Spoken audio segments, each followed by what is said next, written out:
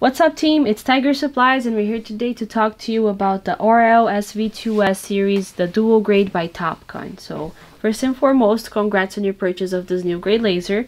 Uh, we want to start off by teaching you some tricks, you know, and, and how to set grade with it. So first things first, if you take a look on the interface of this laser, you'll realize it's the same exact thing as the remote that it came with it. So once you learn how to use this, you'll be very easy to use the remote. Um, let's just turn it on. Once you're on, you will notice that you will blink a little bit before it starts spinning. Um, once you understand its auto level, it will start spinning right away for you.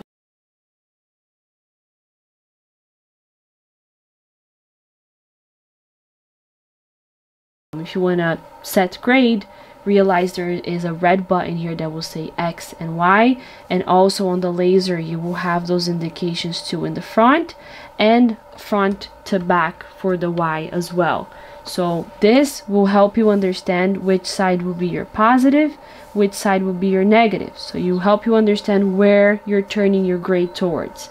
Um, you will press first the red button.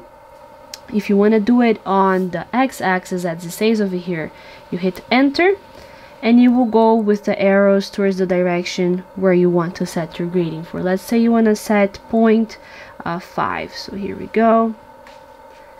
Enter again it would stop spinning and it would re-auto level again. Same thing will be for the y-axis. You will press twice until you reach this line. You will hit enter and you will do the same procedure with it. Keep in mind, you can change the plus to a minus. So once you first do that and you hit enter, the first option will be the, the plus or the minus. So that's also an option there for you. Now, the menu will have everything else this laser will do for you, including the masking feature and the height alert. So to navigate quickly in, into it, let's just wait here for the laser to start spinning. You click enter. The first option will be if you want it to be auto leveled or not. You just hit enter to, you know, to set that up. If you want to keep it auto leveled, you just keep it as it is.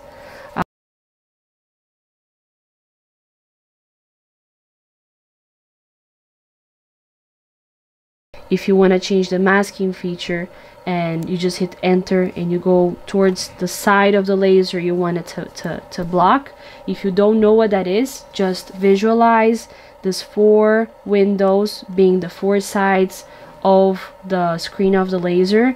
Whichever window you remove that from the laser will not spin towards that direction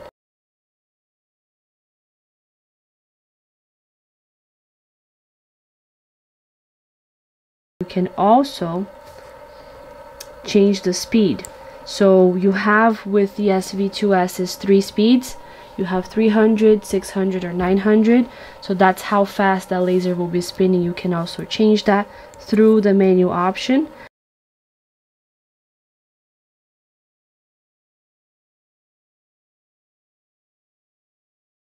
You can change the height alert so if you want to you know change it so the height alert is not on depending on the conditions that you were at.